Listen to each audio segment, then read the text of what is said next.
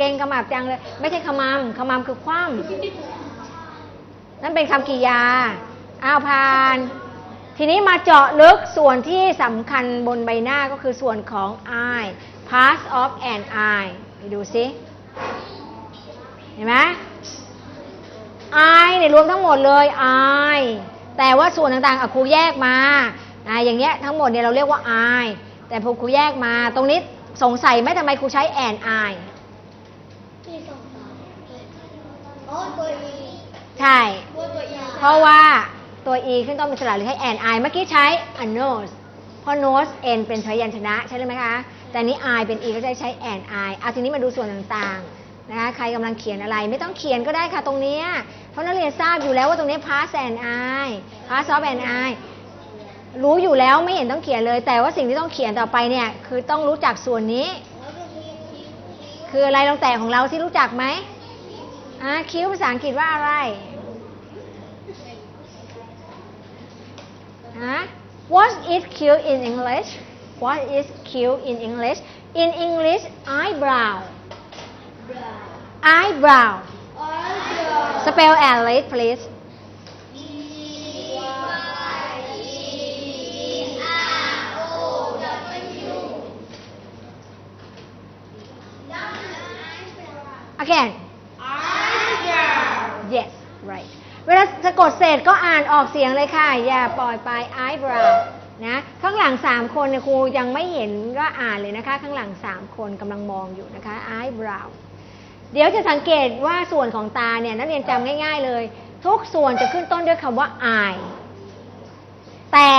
มันจะเป็น eye อะไรเนี่ย eye dot dot อะไรเนี่ย ก็แล้วแต่มันเป็นสาวกของ eye นะ ต่อไปคือ ส่วนนี้คือส่วนไหนลองจับของตัวเองสิ ออเขาเรียกหนังตา หนังตาภาษาอังกฤษบอกว่า eyelid eyelid eyelid spell eyelid E Y E L I D eyelid eyelid eyelid ใครเขียนอย่างเดียวแล้วยังไม่ได้อ่าน มีเห็นไหมคะฉันเขียนอย่างเดียวแล้วไม่อ่านอ่านออกไหมอ่านออกไหม มีประโยชน์ไหมกับการเขียน ไม่มี นะคะ eyelid เห็นไหมขึ้นต้นด้วย eye อีกแล้ว แต่เป็น eyelid หนังตา แปลเป็นไทยด้วยนะคะ next one อันนี้ส่วนไหน ขนตา ขนตาคือ eyelid eyelash eyelid eyelash eyelid eyelash eyelid ดูปากครู eyelash eyelash เออไม่ใช่ eyelash eyelash eyelid นะ h h s h มีเสียงเหมือนชอช้าง eyelash นะคะ eyelash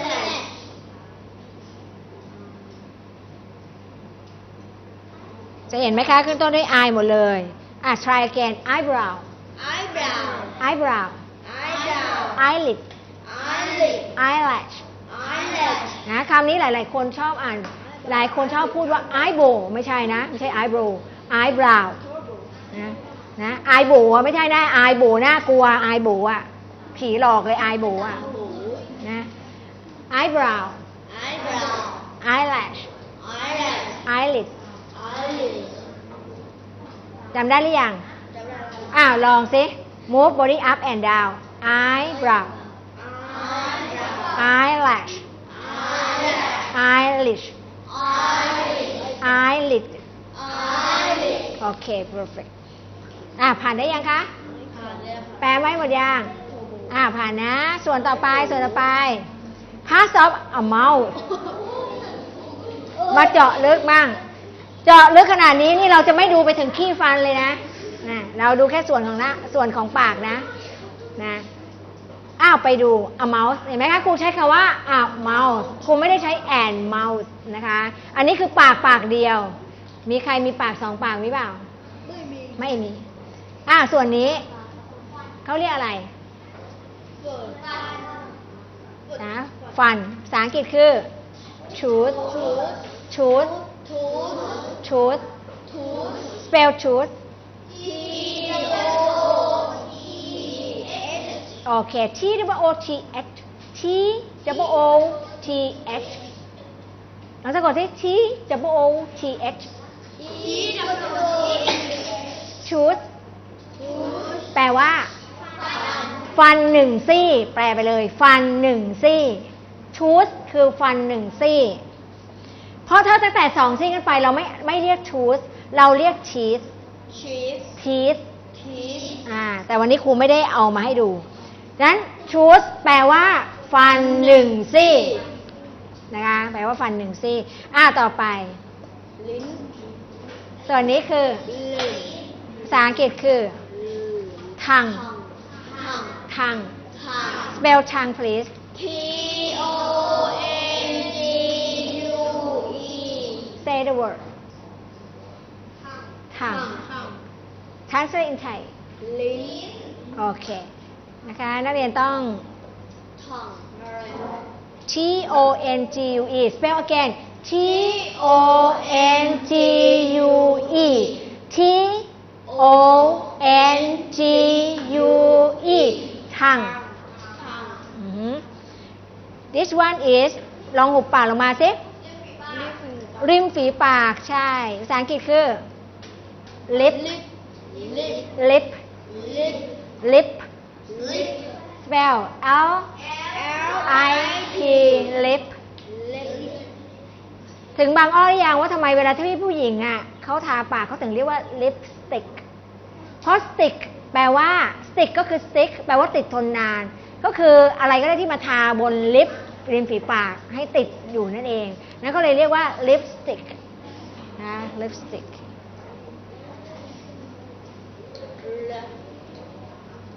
read again tongue all students say tongue ทัง tongue ทัง lip ลิป ด้านหลังนะคะ choose ทีนี้ไปดูส่วนนี้ ส่วนนี้อาจจะมีแค่บางคน แต่บางคนไม่มี ส่วนนี้ก็ครูเรียกมันว่า the other parts ก็คือส่วนอื่น ๆ ที่บางคนอาจจะมีบางคนอาจจะไม่มี ตรงนี้เรามีทุกคนไหม คือ hair spell hair please H A I R hair H A I R hair แปลว่าผม ตรงนี้ครูแยกมาเพราะมันเป็นส่วนที่งอกออกมาจากศีรษะ ก็เลย hair อ่า แต่ตรงนี้บางคนก็ไม่มีบางนี้ ตรงนี้เขาเรียกว่า เขาเรียกว่า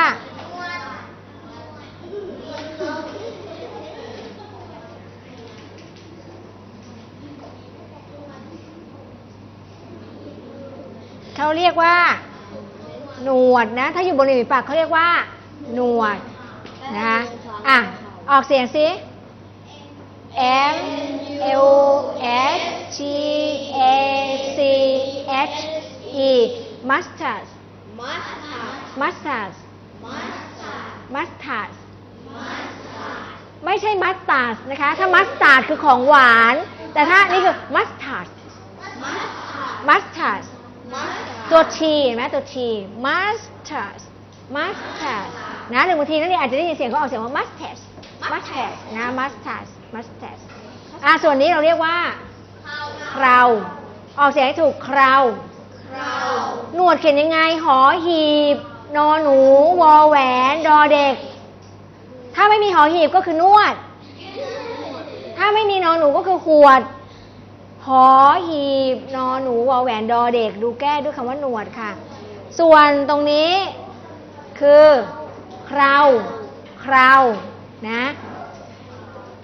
ภาษาอังกฤษคือ beard เบียด beard เบียด beard เบียดอะเหมือนภาษาไทยคือเบียด แค่ออกเสียงเป็นเบียดกลายเป็นเคราเลยนะถ้าภาษาไทยนี่เบียดนั่งชิดกันใช่ไหมนั่งชนกัน แต่พอเพิ่มเสียงเป็น เบี้ยกลายเป็นคราวทันทีเลยนะคราวนะคะคราวภาษาภาษาไทยสระเอคอควายรอเรือสระอาเคราคราวได้หรือเปล่า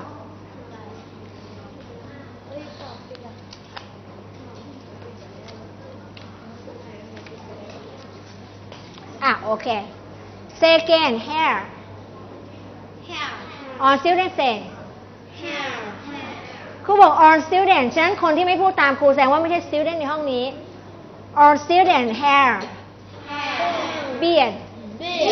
mustache มัสตาร์ด mustache มัสตาร์ดโอเคอ่าทีนี้ let's do this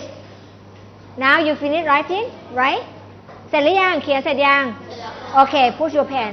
put your pen please and take a look slide let's do this follow me do this follow my order touch my touch your mouth please touch spell T O U C H T O U C H touch แปลว่า อ่าดูรูปแล้วดูดิแปลว่าอะไร touch ลองทำท่าตามซิ touch touch แปลว่าอะไร touch touch แปลว่าอะไร touch touch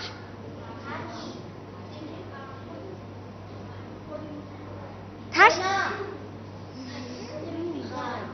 เวลานักเรียนต่อมานักเรียนไม่ได้ใช้ความคิด เมื่อกี้เราเรียนมาว่า face แปลว่าใบหน้า lip แปลว่าริมฝีปาก tooth แปลว่าฟันหนึ่งซี่ ใช่หรือเปล่า แต่ตอนนี้ครูกำลังถามว่าคำว่า touch แปลว่าอะไร เห็นกริยาไหม เห็นกริยาของสองท่านนี้ไหม แล้วครูให้นักเรียนทำตาม ฉัน touch เนี่ย คือเขาทำอะไรอยู่อาจจะมองไม่ชัด ถ้าบอกว่าชี้ยังใกล้เคียยังใกล้เคียง นั้น touch ก็คือแตะ แตะ นั้นคำว่า touch ตัวนี้แปลว่า แตะเป็นคำสั่งสองคนที่ถูกสั่งว่า touch your mouth please กรุณาแตะปากของคุณเขาก็เลยแตะปากกันเนี่ย ก็เลยเอานิ้วแตะปาก ถ้าครูสั่งนักเรียน touch your hair นักเรียนทำยังไง แตะศีรษะเหรอ touch your hair ต้องแตะผมค่ะ ไม่ใช่แตะหัวดังนั้นฟังคำสั่งให้ดี touch your hair please touch your head please touch your forehead touch your eyebrow touch your eyelid touch your eye touch your eyelash eyelash touch your nose touch your ear touch your mouth touch your chin touch your cheek แล้วคนที่แตะสองข้างก็ผิดด้วย เพราะครูไม่ได้เติม s เลย ใช่ไหมคะใช่ครูบอกข้างเดียว ใช่หรือเปล่า อ่า พร้อมยัง try again touch your hair พูดด้วย